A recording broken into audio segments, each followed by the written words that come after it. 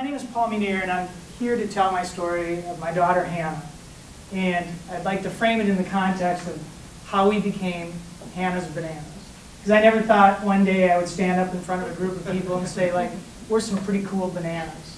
But we are some pretty cool bananas, and I want to tell you how we got there because it hasn't been a pleasant journey.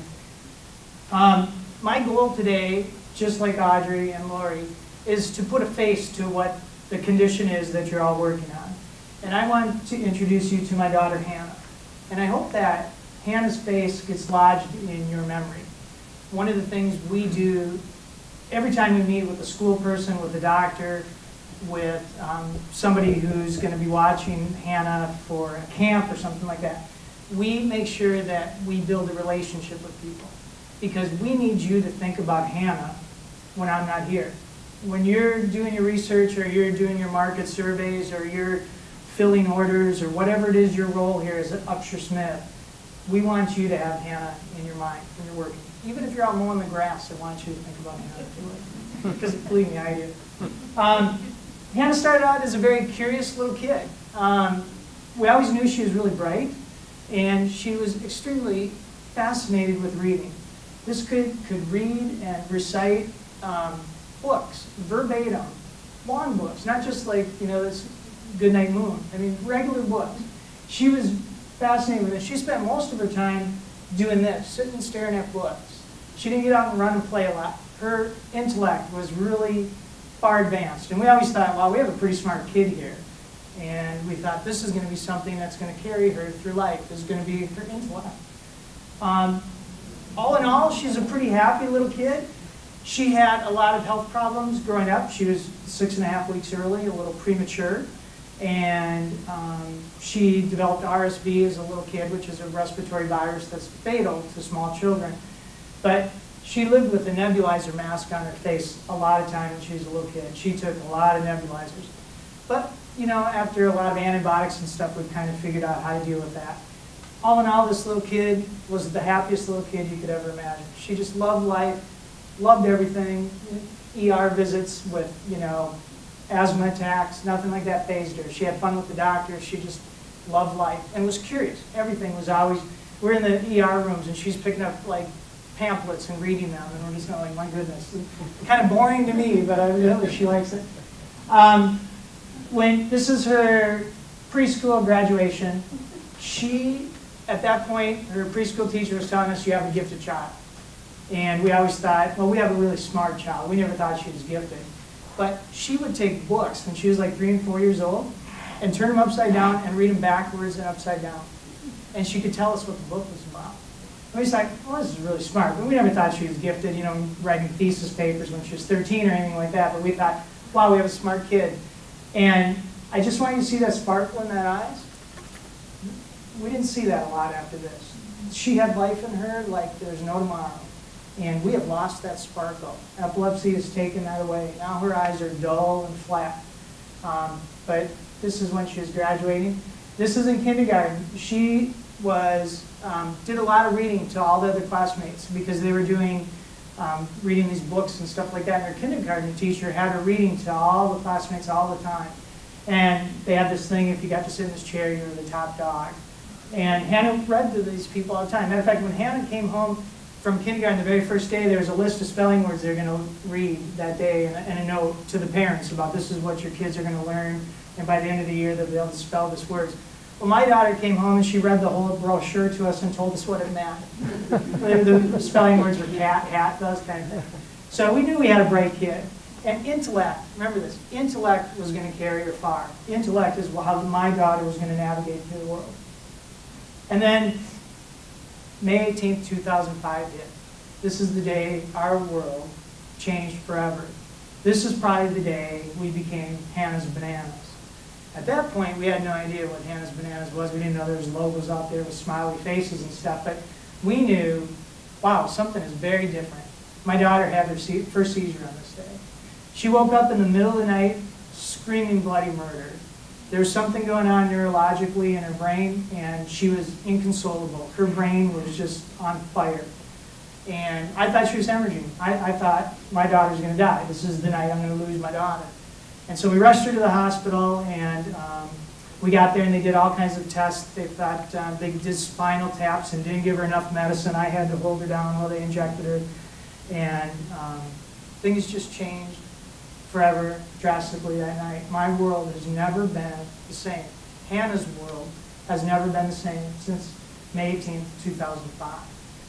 Now, when we first got diagnosed with epilepsy, we didn't even say Hannah has epilepsy. We said Hannah has seizures. Because my wife and I are both achievers on this, I don't mean that like egotistically, but have, have you done the strengths-based uh, assessments here? Everybody's done, great, cool.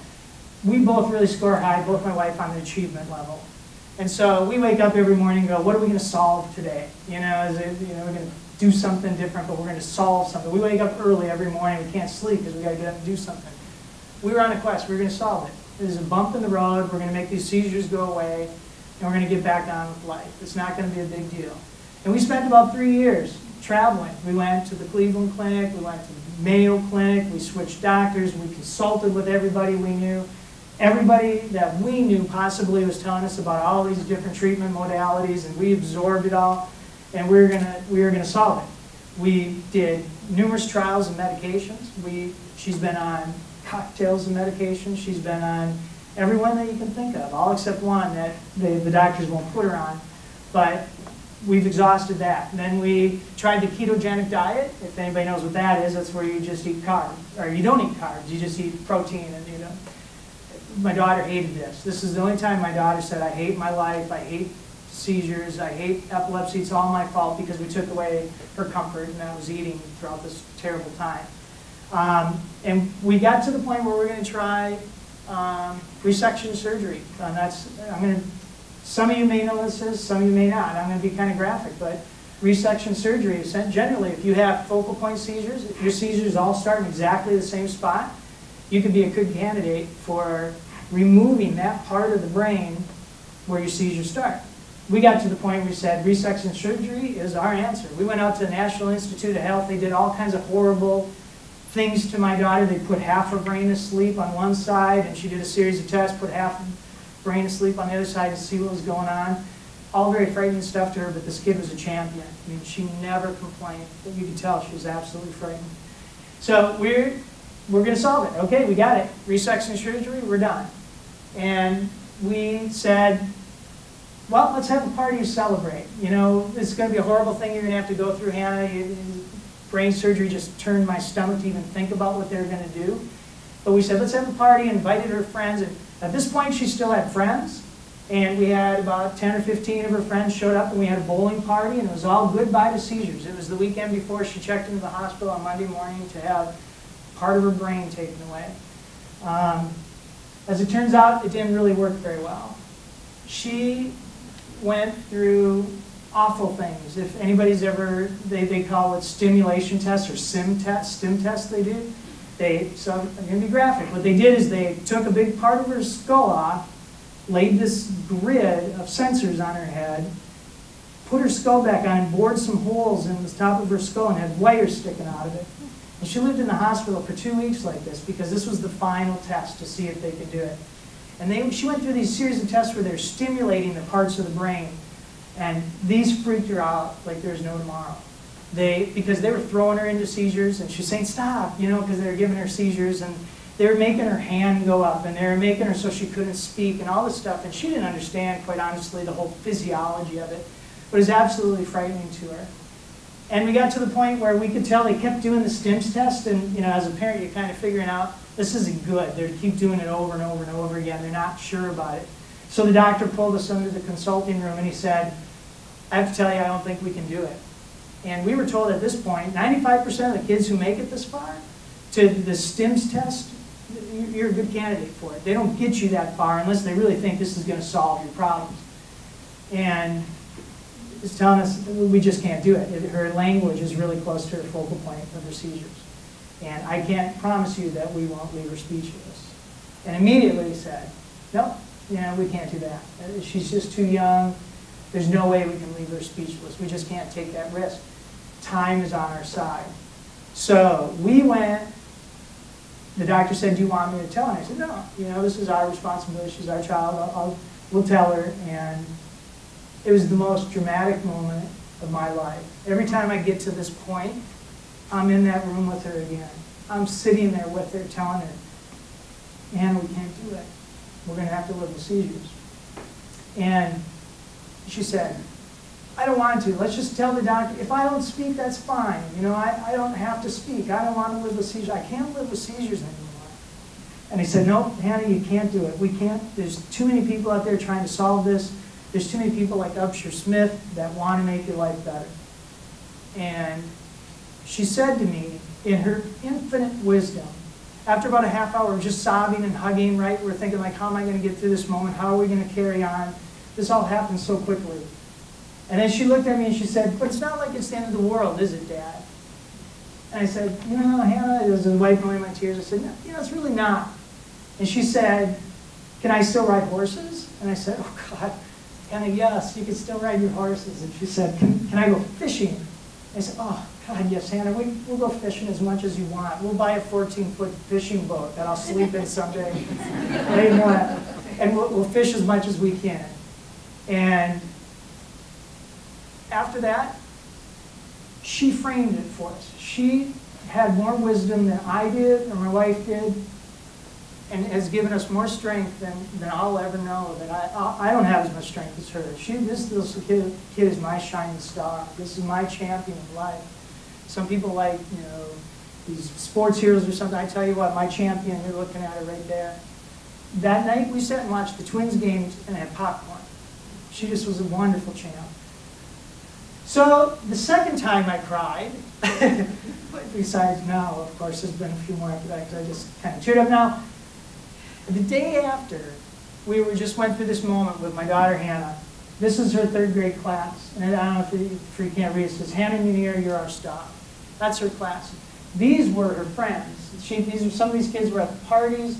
That's the principal. That's her teacher, uh, Miss Kuba. When this came across and I opened this, I thought, oh my God, people care. People care about me, they care about Hannah, and somehow we're going to make it. This wasn't sad crying. This was, I was touched like I've never been touched in my life before. This was the moment in my life where I said, humanity is okay. So we, it is what it is. That's our phrase we say now. Everything we do is, boy, we, some things we control, some things we can't. But it is what it is, and we just make the best of life, the best that we can. We take calculated risks. We have this horse, this is Hannah's horse, called JR. JR stands for just right. He's a dead broke horse that we've trained when if Hannah's riding and she rides competitively, but if she's having a seizure and quits giving commands, this horse knows to stop and walk to the middle of the arena. And he's done it before. Hannah's fallen off of this horse a couple times in seizures, and the horse, it's the most touching thing. I've never seen it, but my wife tells me she's seen it. When she falls off and has a seizure and is on the ground seizing, that horse takes his little nuzzle and pushes up against her like, get up, you're okay, get up. She, that horse knows. She has a connection with that horse like nobody else because you see, Hannah doesn't have friends anymore. When she was having seizures, before seizures, she was doing all the birthday parties, all the neighborhood kids were coming around playing, were having fun, but slowly then went away. Hannah had a, had a seizure at the table when they were opening presents at a birthday party at one of her kids. And since then, she doesn't get invited to stuff. Um, and we're not mad about that. It's the reality. I mean, they're thinking, well, it's kind of calculated risk to bring this kid in and, you know, kind of spoiled the birthday party, let me tell you. Um, but we take, everything we do is calculated risk.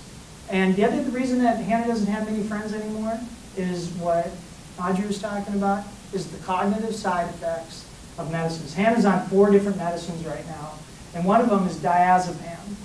For the, the non-chemist people, diazepam is Valium. My daughter's walking around drunk as a skunk every day. She has such a hard time articulating. She can't pace with other kids in her classroom. She can't keep up with girls that are 14. My goodness, there's the, Hannah's still figuring out what they said the first thing, and they're on the fourth different topic. She grows, she's, she's, people are friendly to her. We've had the Epilepsy Foundation in. They, they educate the kids about what epilepsy is like. Kids are really nice to her. We're, we're really lucky. She hasn't been teased. And I know that that's not true for everybody. But she hasn't been teased. And kids like her and watch out for her. But she doesn't have friends. She just doesn't. And I can tell you as a parent, and as a kid who grew up as kind of a social person, I was with friends and sleepovers and riding my bike and playing bit all the time. And I envisioned this is what my kid was going to do. And as a parent, I can tell you, sometimes it's hard to not be a little angry about that. Because this isn't how it was supposed to be. This isn't what we signed up for. But I tell you what, we got the perfect kid for it. She's the superstar. So I just like this picture. Um, I, I'm, i was the guide, so we do a lot of fishing, and that's, that's my little boat um, on our cabin, and we spend a lot of time at our cabin. She loves it up there. You know, but, but in that is these horrible moments where you have, you know, like normally sleeping looks really peaceful. I don't know if you can see her eyes, they're all swollen and stuff. She, there's nothing peaceful about this picture. She just had a pretty big seizure there and I helped her climb into bed. We just got, she just got out of school one day, was excited to go to the barn and ride her horse. Two minutes into the, the um, truck, she had a big seizure. This is what this is what she looked like when we arrived at the barn. She didn't ride that day. She was just too out of it when she woke up. These seizures affect your life on a big, big way. Um, my daughter has, in, in the midst of all this, she also has, well, she has epilepsy. She has type 1 diabetes, and she developed that a couple years after epilepsy. And she has immune deficiency. That's why she was so sick when she was a little kid, and why she lived with nebulizers and antibiotics. But I can tell you, we've got the immune deficiency figured out. She, twice a week, she injects um, antibodies in sub-Q into her system, and she's healthier than I am. We've got that figured out. Type 1 diabetes, if anybody, and I, I hope I don't offend anybody in here. Believe me, that's not my goal. Diabetes is easy.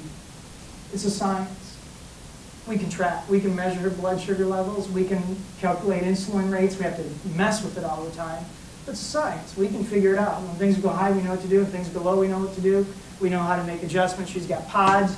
She doesn't have to inject herself all the time. She has to check her blood sugar, you know, but that's not a big deal. She doesn't care. It's epilepsy that has absolutely turned our world upside down. Epilepsy turned us into Hannah's bananas. So one of the things we do when being the achiever, I have to do something to stay focused. I have to do something that gives me incentive to keep going. And so we became Hannah's Bananas, and we do the stroll for epilepsy. That's our big thing. We have a lot of people walk with us. We've raised a lot of money for the Epilepsy Foundation because we think they do wonderful things, and we're so fortunate to have met Vicki. I have to tell you, when, when Hannah first had seizures, not epilepsy, when we were going to solve it, we had social workers in the hospital come up saying, did you hear about the Epilepsy Foundation? Yeah, cool. We, we don't need that. We got, Hannah's got seizures, we're going to solve it. Why do we need the Epilepsy Foundation? All of a sudden now, Epilepsy Foundation is a big part of our world. Um, we do whatever we can during media. Here I am in my little boat at, in Forest Lake. Uh, you know, we can't get we can't get people to cover epilepsy. There's, I, I spent three days in this boat on Forest Lake, and we had some local media coverage. The Star Tribune did a story, but the whole idea was to get on TV, right? I wanted to tell this story. I wanted people to see it in a mass kind of media sort of way. I spent three days in this wonderful I, I could tell you so many anecdotal stories about people came up in the boat and go, what are you doing in that big balloon? Who are you? And, and you know, this wonderful stories about people who've been touched by epilepsy, and they, they would give me money. They just came up and gave me money. You know, they'd empty their pockets, they'd swim trunks on, but I had five bucks here. And so, but anyways, that wasn't the point. The point was to be able to tell the story and earn media. That night, when I got I got off the lake after three days, the, the lead one of the big stories on the news that night was a, a um, a lawnmower demolition derby in Princeton for five minutes. And I just spent three days trying to tell people about how awful this condition is to live with epilepsy and how we need to raise this awareness. So one of the things we do is we tell people all the time, and we tell Hannah this all the time. This is how we stay our focus. There's smart people like you in the room here today working on epilepsy research, and that's what gives us hope we know that there's a big challenge out there for you guys to find a cure. And when you're working, I don't care what your job is here, when you're working, please think about Hannah and Audrey's son and Lori, because these are the faces, these are the lives that you're working on. You're not making widgets here, folks. You're, what you're doing is going to affect me and my daughter, hopefully. So this is our Hannah's Bananas team. It keeps growing. Last year we had 124 people on our team, did the stroll for epilepsy. We had 18 dogs. So we try to get dogs too. And we give everybody a t-shirt that says Hannah's Bananas and the dogs. I don't know if you can see it, the dogs have They have little bandanas that say Hannah's Bananas, so we try to bring guys with too, it's kind of fun. So, um, this year Hannah was chosen the winning kid of the Epilepsy Foundation. We did wonderful things. We went out to Washington DC and and advocated to legislators about the importance of awareness. We, she got to run on the field with the Gophers, Coach Kill.